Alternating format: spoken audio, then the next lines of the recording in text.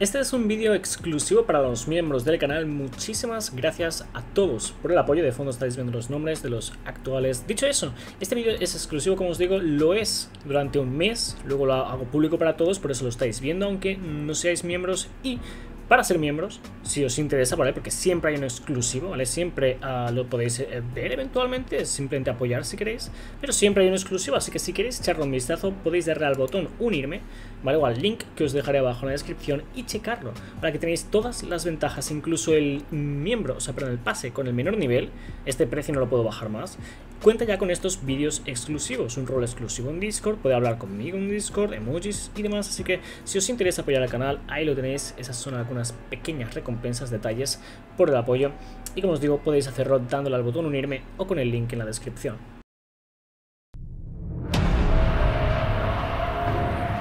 Fuimos seis los que bajamos a ese abismo. Pero solo salí yo.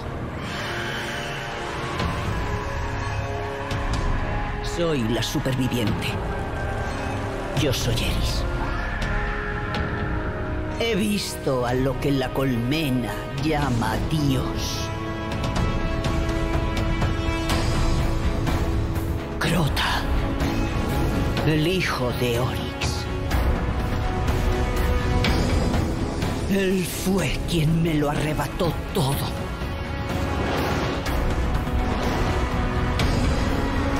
Posará su mirada sobre la tierra.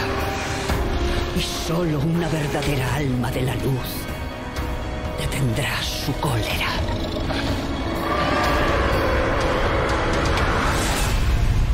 Ahora debes enfrentarte a lo que espera en la profunda oscuridad.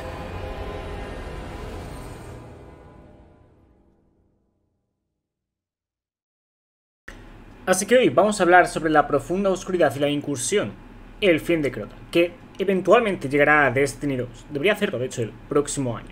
Este vídeo no va de las recompensas, va de la incursión, pero hay que mencionarlas rápidamente, ¿vale? Eventualmente, cuando llegó Era de Triunfo, trajeron estas versiones exóticas de las armas principales, que son exactamente iguales a las armas principales, con la diferencia de que tienen daño elemental. Son armas principales con daño elemental, lo cual, es en plan Kun. Sería interesante que regresaran estas versiones a Destiny 2. Decidme si estáis uh, a favor de armas uh, con daño elemental principales, si son de versión exótica. Actualmente las principales no se usan casi para nada, incluso pese a que mejoraron muchas de ellas para que se usaran más en PvE, aumentando el daño un 40%, siguen sin usarse casi nada. Vale, salvo Osteostriga y poco más. Así que estaría interesante que le añadieran daño elemental a algunas de ellas. Decidme qué os parece la idea.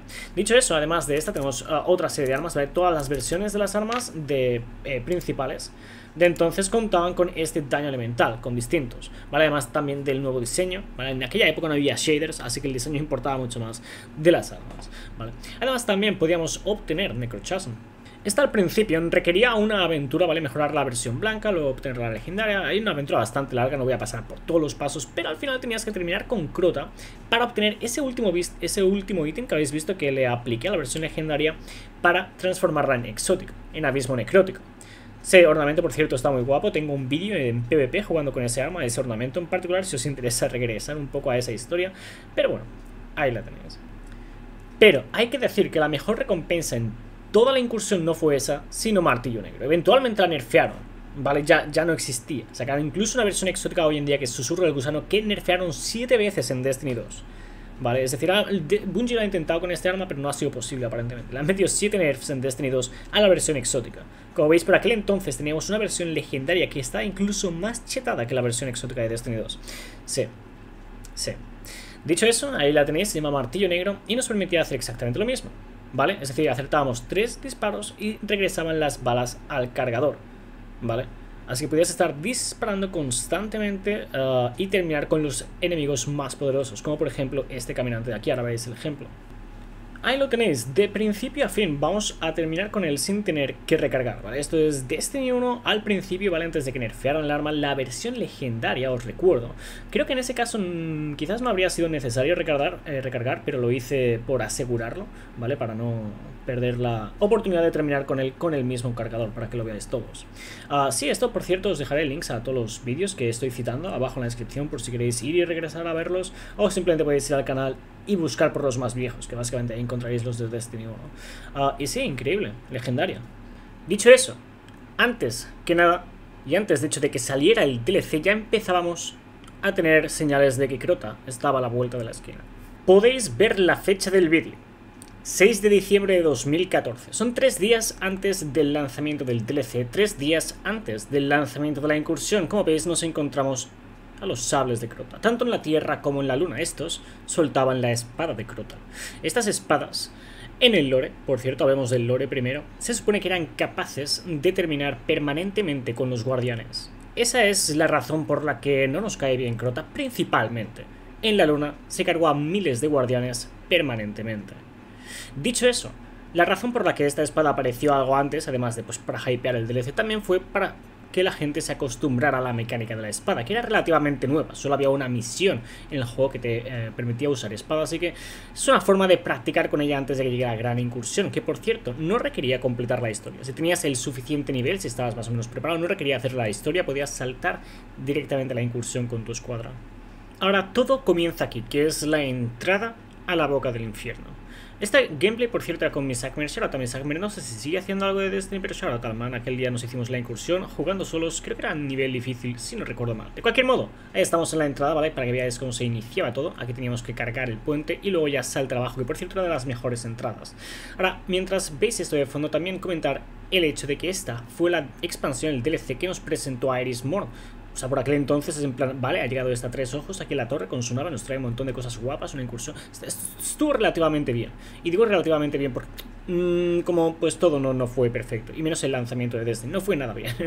vale, pero hey, tuvo sus cosas buenas. Esta es una de ellas. Esta, por cierto, actualmente en Destiny 2 se, se, considera una mazmorra. Si la comparamos con el resto de incursiones, la cantidad de encuentros, el tiempo, la duración de la incursión en sí, se la haces más o menos bien. Ah, y el hecho de que la puedes hacer solo, ¿vale? O sea, cada año si me estáis siguiendo, cada año la hago jugando solo, al menos una vez, ya es tradición aquí en el canal. Entonces, por todas esas razones y más, se considera que es más bien una mazmorra que una incursión. Pero bueno, lo es, es una incursión y aunque parezca una mazmorra, estoy bastante seguro de que regresará como incursión. Igual que hemos visto que ha regresado Cámara de Cristal, ha regresado uh, Caída del Rey, regresará esta. Y puede que regrese como mazmorra, pero personalmente lo que creo que va a ocurrir es que regresará como incursión para 6 jugadores, cambiarán ciertas mecánicas para que no podamos hacerla solo igual que la hacíamos antes, porque actualmente en Destiny 1 hay un glitch que te permite hacerla solo, uh, quizás os lo explico en este mismo vídeo, ya lo es lo que hago cada, cada vez que, que juego solo. Y pues eso, probablemente venga con una serie de cambios que nos obliguen a jugarla como hay que jugarla. Y ahí ya está más interesante. Ojalá añadan algún que otro encuentro, aunque no creo que hagan eso precisamente, yo creo que los harán más interesantes. Dicho eso, uh, ahora mismo lo que estábamos haciendo es ir a ver dónde se encontraba el cofre secreto. Para quienes no lo sepáis, hay un cofre secreto en este laberinto y puede aparecer en una de múltiples puertas. Tienes que ir y encontrarlo, tienes que fijarte en la que está iluminada. Así que sí, era un tema bastante complicado. Ahora, por cierto, estamos usando unas habilidades de cazador con el también que nos permitía volvernos invisibles y cruzar esto de este modo. Hay, varias formas de hacerlo. Una de las que suelo hacer cuando me veis en directo y eso es usar Super Célula Zalo. Eh, poco más, no me hace falta mucho más. Con la teletransportación también no, no voy nada mal. Y bueno, hay múltiples formas de hacerlo. Entonces lo que estábamos haciendo aquí era hacernos invisibles. Y nuestro objetivo en este primer encuentro, como estáis viendo, es ir de lámpara en lámpara. Hay un peso de la oscuridad que se va sumando según uh, estemos en el laberinto. Cada segundo que pasa es uno de más y al nivel 10 ya no puedes tienes que caminar literal. Entonces lo más seguro es que te pillen los lacayos. Como veis, no paran de aparecer en todas direcciones. Había veces en las que o se bugueaba o iban más a por un jugador que otro, igual no te encontrabas a tantos, pero sí. Y ahí me estaba agachando para hacerme invisible. En plan, sí, old school. Uh, dicho eso, era muy divertido este encuentro. O sea, se puede hacer solo sin problema, toda la incursión se puede hacer solo sin problema, pero uh, recuerdo muchísimas risas, muchísimos fails aquí, definitivamente eh, uno de los mejores encuentros. No por las recompensas precisamente y tal, ¿no? pero sí, las risas no, no tienen precio. Dicho eso, quedan unas pocas lámparas más para llegar al final, el resto es prácticamente igual, muchos lacayos. Ahora de fondo en pantalla estáis viendo como recién iniciaba ese encuentro para ir a la sala donde se encontraba el cofre secreto. Lo que os estaba mencionando antes de un cofre secreto pues se encontraría en esta sala. Eso si tienes la suerte de que aparezca en esa, que es como la más sencilla, la del inicio, ¿no? Pero a veces te salía más adelante, ya os he dicho que habían varias salas. Pero bueno, este es un ejemplo del cómo podías obtenerlo, se te repetía el loot, te daban materiales que por entonces eran, eran totalmente necesarios para mejorar las armas y armadura de la incursión. Sus fragmentos radiantes, sí, sí, los veteranos sabéis a lo que me refiero y... Es en plan entre... Ahora es, ahora es nostalgia, ahora casi todos son buenos recuerdos, pero farmear aquellas vainas no, no, no era nada gracioso. Ahora, yo y mi colega Sagmer estamos a punto de llegar ya al final. Uh, sin embargo, eh, nuestro pobre compañero tuvo un problema. Los lacayos consiguieron rodearlo y terminaron con él. Como veis, yo tuve la suerte de alcanzar la roquita. Esta es la roquita. Si llegas a la roquita escasa, ¿vale? Ahí tenemos el tiempo suficiente para que se nos quite el peso, saltar a esta otra roca y ya estar casi completamente seguros. Digo casi, porque ahora hay que esperar que aparezcan dos ogros. Al menos en difícil, si no recuerdo mal, eran dos ogros. Entonces ahí tenemos el primero. Oh, sí, esto debería ser difícil porque como veis está aguantando bastante. Ah, de cualquier modo, esos se pueden disparar a distancia, así que no es que esté totalmente seguro aquí. Había otra forma de sobrevivir que es ah, donde ha muerto más o menos mi Sakmer, ¿vale? Te podías subir también en esa columnita. Es lo que suelo hacer, aunque hay veces que faileas. A menos que estés acostumbrado y lo hagas decisivamente, en plan, pum, ahí me quedo. Ah, puedes caerte y o te pillan los lacayos o te caes del puente o, ¿sabes? hay que tener cuidado. En plan, sobre todo si lo haces solo. Dicho eso, una vez termináis con los ogros, tenéis que activar el puente, es importante, no sé si mi compañero lo había activado en ese momento, de hecho sí, se estaba formando, si os fijáis el puente va avanzando, y una vez esté completamente formado podéis pasar de los ogros, no hace falta matarlos, ¿vale? simplemente por supervivencia. Abajo a la izquierda podéis ver que el camino ya está limpio. Bueno, básicamente podemos cruzar el puente. Dejo a mi compañera ahí, rest in peace, el man. Ya no había nada que hacer, era difícil, o sea, dificultad difícil, ¿vale? No se podía reanimar ni nada. Ni tiempo cabía tampoco con la cantidad de lacayos. Y esta es la transición al segundo encuentro, lo cual es, es, increíble. A nivel eh, de diseño, ¿sabes? Esta entrada básicamente es como que estás entrando al cielo. Pero no, no estás entrando al cielo, es casi totalmente lo contrario. Es uno de los peores encuentros de todo, toda la incursión. Es de los más tediosos, sobre todo si lo solo. Ahí está el loot la buena energía radiante para luego mejorar las armas, que no se olvide. Ahora regresamos un poco al futuro para ir a 2020, otra de las ocasiones en las que me cargué a Crota jugando solo. Ya os digo que esto lo hago una vez al año, si no es en vídeo, es en directo, lo que sea. Este año, no sé si lo he hecho, debería, creo que sí, creo que lo hice. De cualquier modo, ahí estamos. Como veis, estoy haciendo solo, es más calidad este gameplay, ¿vale? Así que bien por eso, ah, esa es la habitación antigua que tenía.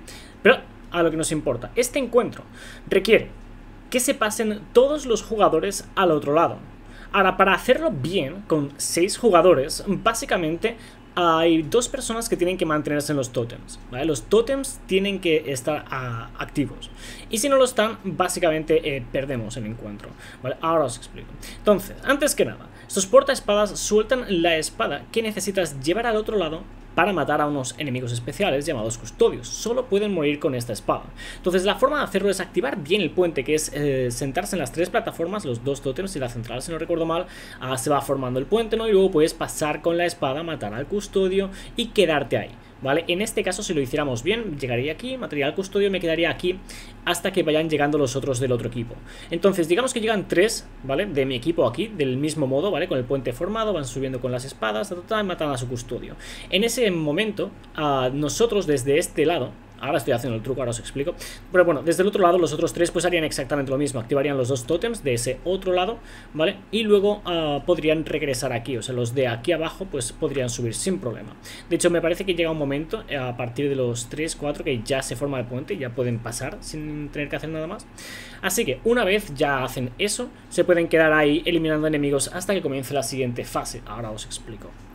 Ahora, como veis, lo estoy haciendo solo. La única forma de hacerlo solo actualmente, ¿vale? Porque han habido varias formas de hacerlo solo, pero todas parchadas, ¿vale? Menos esta, que os voy a explicar. Entonces, como veis, estoy con el aero del sol, ah, con la subclase solar de hechicero. Solo pueden hacer hechiceros solares, que yo recuerde. Ahora no recuerdo si había alguna otra forma, pero pues, creo que solo esta ahora. Entonces, básicamente, como habíais visto antes, mm, voy con la espada por un lugar concreto, si incluso si me desvío un poco de ese lugar, de ese camino que habíais visto que tomé con la espada, y ahora os explico por qué tenemos acolitos compañeros. De cualquier modo, si me hubiese desviado habría muerto. ¿Vale? O sea, era muy preciso eso, para no morir. Entonces, es la única forma que había de cruzar. Boom, cruzo con la espada, mato al custodio y como veis, no estoy avanzando, ¿vale? Dejo que me mate aquí, tengo que morir aquí. Si avanzo un poco, incluso aunque luego muera aquí, no me sirve, ¿vale? El morir aquí básicamente me permite después reaparecer en el otro lado. Y si tengo la super solar, ¿vale? Pues me permite revivir así, como estáis viendo. Entonces es la única forma de hacerlo, ¿vale? Tengo que esperar que me cargue la super, ir ahí, hacer lo que tengo que hacer, suicidarme en el borde y reaparecer aquí seis veces hasta que se abre el camino. Ahí ya veis se ha formado el puente por completo, he hecho los seis viajes, matado seis custodios, han aparecido las espadas. Entonces ahora hay que limpiar esta sala hasta que aparezca un grupo de custodios, otro grupo de esos azulitos, ¿vale? Y, hay que limpiar bastante, sí, hay que limpiar bastante. Hay, de hecho, no sé si en este mismo gameplay veréis algún momento apurado, pero hay muchos momentos apurados, es peligroso, es peligroso, hay que hacerlo con cuidado. Custodios ya comenzaban a aparecer, Dios mío, lo que tenía ahí, o sea, la verdad, esto no es nada, nada recomendable que os pongáis aquí, porque hay veces que, oh, como hay, o sea, sí, básicamente muerto. Y, y de esto, después de esto, básicamente te pueden matar inmediatamente. O sea, en lo que revives, si te meten tres espadazos bien pegados, mueres. Eso me ha pasado. Y, no mola nada, o sea, es repetir este encuentro para nada, sobre todo si lo haces solo. Pero me ha pasado. Uh, sí. Ya como veis, al terminar con los últimos custodios, recibís las recompensas. En este caso, solo la energía, aunque quiero recordar que te podían llegar a dar a otras recompensas. No sé por qué, solo me dieron energía, mala suerte. Ahora, al cruzar esa puerta, hay un cofre secreto que solo se puede obtener sin fallos, es decir, no puedes repetir el encuentro, solo hay un chance, una vez se activa el temporizador se empieza a cerrar una puerta y si no la alcanzas, no la alcanzas, tío. No puedes, no, puedes suicidarte y repetir el encuentro ni nada, no. Si no la alcanzas, no la alcanzas, tienes que hacer la raid entera. Entonces, mi estrategia es equipar el Galarhorn, ¿vale? Para tumbar los acólitos, eh, los aulladores, perdón, ¿vale? Que esos aulladores, por cierto, eh, en Destiny 1 sueltan una especie de bolas al morir que, que te matan. O sea, es lo más peligroso el aullador, matarlo. Eso es lo más peligroso, de hecho. En Destiny 2 no son tan peligrosos. De cualquier modo, ahí estaba esperando que me cargara la super, ¿no? Para ir con un poco de cuidado y... Sí, me parece que en este, en este caso lo hice sin ningún problema, pero lo vamos a averiguar uh, juntos. Entonces es cuestión de 30 segundos o menos, entramos en el pasillo, ya habían aparecido los uh, lacayos, así que eso no me da muy buena espina, no sé si la puerta ya se habría cerrado, porque había, había veces que la activaba sin querer, sin darte cuenta y dices F, ¿vale? F. Ahora, ¿veis esas bolitas? Eso es lo peor del mundo. Uh, y sí, esa, esa vez estaba cerrada, os enseño cómo está abierta. Regresamos al futuro de nuevo, ¿vale? O sea, esta es la incursión de Crota jugando solo en 2022, o sea, aparentemente sí tenía el vídeo, lo he encontrado. Y sí, este mismo año ya, ya está cumplido, habrá que esperar a 2023 para hacerlo de nuevo, supongo. Quizás ya en Destiny 2, teniendo en cuenta que lo más seguro es que regrese, ¿sabes? Dicho eso, Ah, oh, por cierto, puede venir Furia de las Máquinas antes, pero ah, no sé por qué creo que va a ser fin de Crota primero. Anyways, uh, como veis, en este caso sí lo consigo y la puerta está abierta. En el intento anterior supongo que se habría activado al acercarme un poco, no sé por qué, pero sí, básicamente ahí estáis viendo cómo se empieza a cerrar. Y ese es más o menos el tiempo que tienes para llegar. Ahora aquí hay otro cofre, lo cual son unos pocos materiales más, lo cual quizás no te parece tanto, pero en aquel entonces es en plan, más te vale alcanzar el cofre, tío. Vale, quiero mejorar esa armadura, así que más te vale llegar. Y cuando veas que todo el equipo iba muriendo, ¿sabes? Y que solo quedaba uno, dos, o quizás solo tú para alcanzar el cofre, dices, mierda, ojalá llegue. Y, a veces sí, a veces no. Era emocionante. Dicho eso, ahora bajamos por aquí y llegamos al tercer encuentro, se podría decir, al menos el serio, que es Irjut, la cantora de la muerte. Ahora tiene un lore que te cagas, no, no nos vamos a liar con los detalles, ¿vale? Pero tiene un lore que te cagas. Solo voy a hablar un poco sobre el lore de esta maga. Y por cierto, esos son unos enemigos que, que no puedes ver de hecho, no, en ese caso son los de Iryut, pero bueno, básicamente hay unos enemigos falsos, luego os explico unos falsos. Eh, de cualquier modo, Iryut fue la que se cargó a Toland. Toland, de hecho, es lo que estaba buscando, estaba buscando que terminaran con él, con esa canción en específico para trascender al plano al que sea en el que esté, ¿sabes? Por ahí anda siendo una lucecita, y por cierto deberíamos saber de él eventualmente. Quiero decir, ya se acerca al final, así que sí, sí. De cualquier modo, ahí lo teníamos chungo. Para hacerlo solo, en difícil al menos, necesitas una espada ¿vale? necesitas la espada solar que vino con el rey de los poseídos. Si no es bastante chungo, es bastante chungo. Entonces, en este encuentro te encuentras pila de acólitos, pila de caballeros y aulladores, ¿vale? Ah, como veis hay una maga que defiende el aullador, una vez la matas, el aullador se activa, puedes destruirlo y una vez destruyes los dos lados, que básicamente son lo mismo, maga, aullador, todo, todo, se abre la puerta y puedes empezar a enfrentarte a la cantora de la muerte, a Eriut. Hay un temporizador, ¿vale? Y si se termina el tiempo, como veis ahí ya ha empezado a cantar, tenemos 30 segundos, si no la matas, ahí te quedas. Vale, en ese caso, eh, creo que era nivel difícil, ahí con 33, la estoy bajando considerablemente rápido, o sea, el Galahorn es una magia. Aunque quiero recordar que era incluso más difícil, no sé si había otra dificultad, porque quiero recordar que aquí ah, nos pasamos a veces bastante rato con depende qué squad, ¿sabes? En fin, shout a esa multi-herramienta que ha aparecido ahí con el diseño que hace la vida. Y ahora sí, se pone seria la cosa. Pasamos al encuentro final con Crota. Sí, aparentemente lo estaba haciendo en difícil en este gameplay, eso es de hecho en directo. Ah, no me di cuenta de que estaba haciendo Crota solo en difícil intentándolo hacer con una espada, que es literalmente imposible. O sea, estuve no sé cuántas horas, aquí podéis ver, no sé cuántas horas intentándolo hasta que calculando el tiempo, básicamente hice algo perfecto, un 10 de 10, no se podía hacer más rápido. Me di cuenta de que era imposible, era imposible, dije, mierda. Sí, o sea, creo que con el titán, ¿vale? Y con ciertos, con otra serie de ventajas demás es posible hacerlo solo en difícil, pero es realmente difícil y no se podía hacer con el hechicero por lo que vi. Así que F por eso al final lo hice normal. Ahora os explico la técnica de una sola espada, es lo que estoy intentando, lo que veis que estoy intentando, ¿vale? Ah, ahora básicamente tengo que tener a Crota cerca, para lo cual a veces eh, los... Bueno, por eso me veis saltando de vez en cuando para que se acerque. Y uh, sí, fue totalmente fail esto, ahora veis el buen ejemplo. Entonces, al iniciar el encuentro final, resumiendo, tenéis que limpiar la sala. No es obligatorio, pero es mejor, porque durante el encuentro final es cuando le vais a pegar a Crota, os pueden venir todos estos enemigos, por eso es necesario, se podría decir. Entonces, esta es la técnica de una sola espada, ¿vale? Lo, lo que quiere decir es que lo mato con la espada, ¿vale? Antes de que desaparezca. Ahora, esto tendríamos que analizarlo en cámara lenta. Básicamente me pongo aquí, cojo el cáliz que me permite regenerar la salud. Sin esto no se regenera la salud, básicamente, así que. Vale, estamos bien, estamos ahí, ¿vale? Ah, estoy llamando la atención de Crota. De vez en cuando lo disparo, no sé si en este caso lo disparaba, ¿vale? Para asegurarme de que está ahí. Entonces, me cago al portaespadas en esta posición para poder cogerlo desde aquí arriba, ¿vale? Llamo la atención de Crota, ¿vale? Está llamando la atención, básicamente. Y le rompo el escudo, lo cual a veces se rompía, a veces no. Me teletransporto porque es la forma más rápida de llegar arriba, así, y poder causarle la primera primera fase de daño. Me vengo a esta esquinita, eh, como veis, lo, que viene a ser la salud es en plan, básicamente soy una persona de fe. ¿Vale? Es en plan, si no tienes fe, uh, es difícil sobrevivir a este encuentro, porque tienes que tener una suerte increíble. O bendiciones. Uh, dicho eso, como veis, ahí estamos llegando ya a la tercera fase, la espada sigue ahí, ¿vale? Se habría ido ya si, si hubiéramos perdido unos segundos de más ahí antes. Y ahí nos da el tiempo justo, justo para terminar con él con una sola espada. Realmente épico, Uh, lo recomiendo que lo hagáis todos, ¿vale? Es una buena experiencia que hacer una vez en la vida. Uh, ya no, no creo que sea tan posible para algunos, quizás volver a encender la Play 3 o lo que sea para volver a jugar Destiny 1, pero para eso están estos vídeos, para recordarlo todos juntos. Así que ahí la habéis tenido. Crota, terminamos con él. Hablando un poco del lore, además de terminar con él, porque se cargaba un pila de guardianes, ¿vale? Permanentemente también. Era básicamente el terminar con él de verdad. Ya habíamos terminado con él en la tierra, incluso con su alma en la tierra, pero teníamos que venir aquí a su mundo trono, perdón, el trono del alma suprema, mejor dicho, para terminar con él permanentemente. ¿Qué permanentemente? Porque eventualmente llegará a Destiny 2, ¿sabes? Si la colmena es muy colmena, pueden resucitar. Yo qué sé, yo qué sé, ¿sabes? De cualquier modo, ahí está la historia. Espero que os haya interesado recordarla a todos juntos. Por cierto, estos eh, encuentros también contaban con su desafío, al menos algunos de ellos. Una vez llegó, era de triunfo, que trajo unas armaduras increíbles, nuevas versiones de las armas y demás, lo cual fue Increíble, vale, perfecto. Pero bueno, esa es la incursión. Vale, dicho eso, decidme vosotros, ¿qué os ha parecido? A los que no la conocierais, ¿tenéis ganas de que llegue a Destiny 2? Los veteranos, ¿qué me decís? ¿Hay ganas de que regrese o simplemente queréis furia? Os recuerdo que este es un vídeo exclusivo para miembros del canal. Si lo estáis viendo ahora es porque un mes después están disponibles para todos y subo uno nuevo exclusivo, de modo que siempre hay uno exclusivo para los que apoyan, pero tampoco os perdéis nada, ¿vale? Apoyar es opcional. Dicho eso, si queréis hacerlo, podéis ir al apartado donde pone unirse, o join si lo tenéis en inglés, ¿vale? Y ahí veréis los distintos pases con las distintas recompensas y incluso la menor, ¿vale? Esta, este precio no lo puedo bajar más, incluye estos vídeos exclusivos, además de un rol en Discord, también la oportunidad de hablar conmigo en Discord, emojis y bueno, eso como os digo, os interesa. Lo suyo es que apoyéis si queréis. Así que si os interesa, dicho eso, ya sabéis cómo hacerlo, tenéis un link en la descripción.